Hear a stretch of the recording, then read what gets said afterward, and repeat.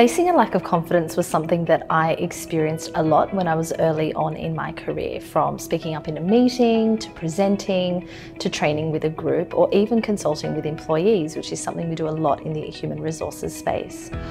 One piece of advice I have is to build your confidence, you need to practice, practice, practice. It's not something you can learn in a textbook or, you know, go to training on. The more you put yourself into uncomfortable situations, the more you put yourself out of your comfort zone and put your hand up for opportunities that you might not regularly do is the best way to build and boost your confidence in the workplace. Do not strive for perfection. It's always alright to make mistakes along the way and that is how you learn and that's also how you accumulate skills. Secondly, set realistic goals. If you set some goals that are way too high that is unreachable for you, you will end up letting yourself down.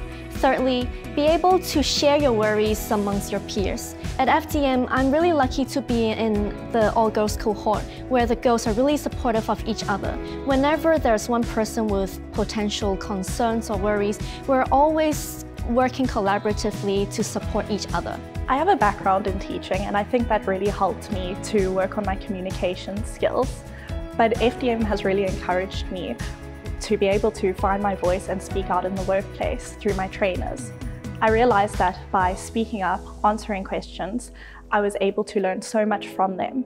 And this really helped me to strengthen my skills as well as be able to speak out and even if I'm out of my comfort zone. And this has helped me learn so much more and be able to strengthen my technical skills as well as my soft skills. I think it all starts with building a sense of confidence. And how do you get confidence? Um, you need to be self-aware. You need to develop some certain level of self-awareness. What are your strengths? What are your weaknesses? And then build up on your, on your weaknesses to become better. But once you've done that and you've built the confidence, it will be so much easier for you to speak up in meetings, to voice your opinion, um, and to find your voice. A second tip would be to find a mentor. Like every business has great female leaders. Um, don't be shy. We've all been in that situation before. Um, approach, approach other females. If you've got any questions or if you've got any doubts, um, I'm sure they can give you some really good tips and you, yeah, you just learn from it and you just go along with it. It's so important to feel valued and respected in the workplace and women often feel that they're not being heard. We don't think that anyone will listen to us, we don't want to say the wrong thing, perhaps we fear retribution.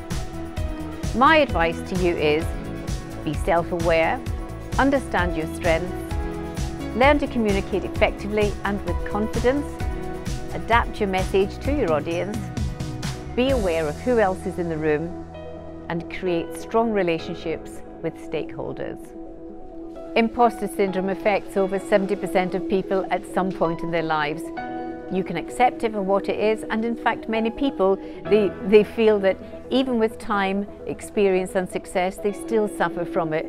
My advice to you would be get on the internet and read up on it so that you gain an understanding and, and also to see that you're not alone.